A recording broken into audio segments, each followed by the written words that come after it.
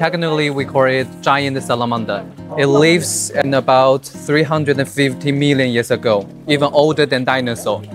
Yeah, so actually it is a specialty here, and uh, in China it is the uh, second class protected animal.